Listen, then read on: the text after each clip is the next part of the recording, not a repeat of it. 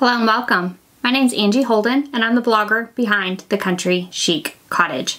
So Cricut recently updated Design Space to include something they're calling guides. I thought I'd do a video walking you through how to use guides as well as how I would personally use them in Design Space and that way you can kind of get an idea of how to use them when you are crafting with your Cricut machine and using Cricut Design Space.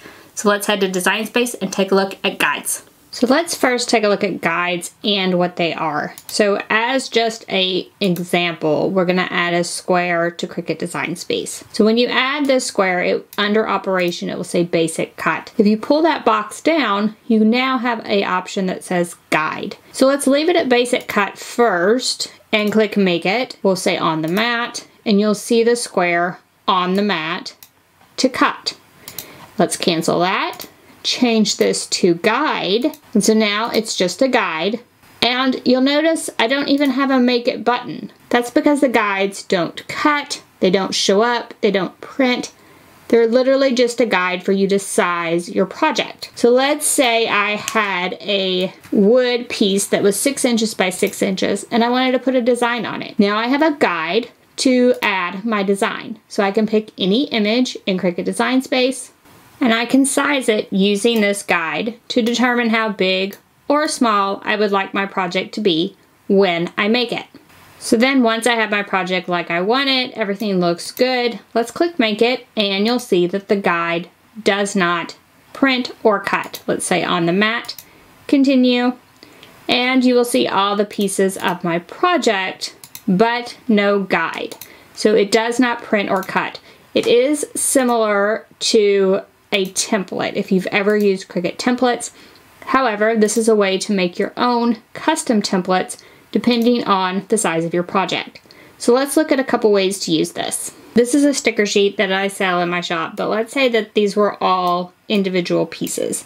And I wanted to optimize the print then cut size for Cricut Design Space. So let's add a square. Let's unlock that and let's make it 6.75 by 9.25. So the maximum size for print and cut for her Cricut Design Space. And I'm gonna go ahead and change that to a guide. So now it's a guide and we'll zoom in a little bit. Now I can resize each sticker to optimally fit my paper. I would recommend picking the guide itself and arrange send to back. That will help you arrange and move your stickers without accidentally picking that guide. So now we can just make these stickers fit the room we have, make them the size we want to make them, and we could even duplicate them to fill the page. So this allows us to easily optimize print and cut for Cricut Design Space. So I used to do this by adding a square to Cricut Design Space, doing all this, and then deleting the square off or hiding the square. So changing it to a guide makes it a little bit easier.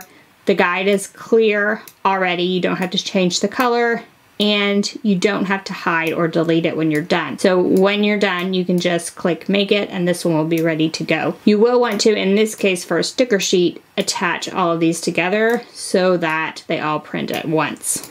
So something else to note about guides, if I want to copy and paste a bunch of these, if I include the guide in my selection, copy and paste, it will make another guide. So you can either delete off that second guide or you can move the guide over to the side and pick what you want to copy and paste, add that to your canvas, and then just pull the guide back over into place. So however you want to do it, but just be aware that it will pick your guide when you're choosing things to copy and paste. So now I have one really optimized sticker sheet.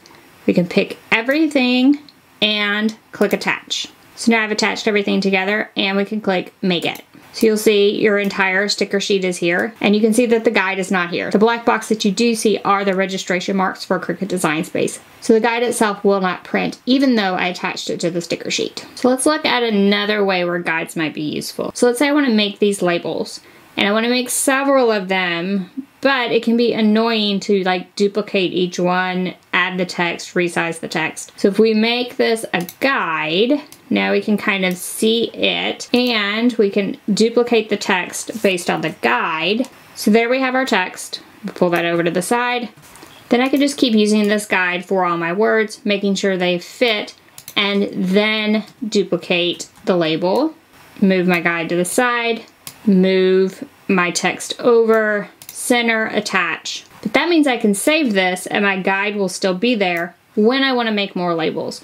So the most annoying thing to me about making labels is that I don't have one later. So if I save this with the guide, I will have one later. Because let's say I want to make this a print and cut label. I would need to flatten this. So I'll flatten that. And now it's a flattened print and cut label. If I do that to all of these, so now I have all four of my labels and they're all print and cut. Now, let's say I come back a year from now. What I've done is I've made a guide out of the label and I made a guide out of the text. Why did I make a guide out of the text? Now I can tell exactly what font I used. So a year from now when I come back, I can pick the same font and make labels without needing to unflatten and find the font and find the right label. It's all here, but as a guide. So I don't have to hide it, I don't have to delete it off. I can just click make it it will just be my print and cut labels ready to go without the guides, either the text or the label on my actual project. So that's just another way where I think guides will be useful. I'm sure you'll find other ways as well. So hopefully that helps you explain a little bit about guides, what they are, and allows you to start using them correctly. If you have any questions about anything I've covered, please drop down in the comment section, ask away. If this video helped you, give us a thumbs up. And if you haven't already, head on over to our YouTube channel, hit that subscribe button. We have videos just like this one every single week, and trust me, you don't want to miss any of those. So thank you all so much for joining me, and I'll see you next week. Bye-bye.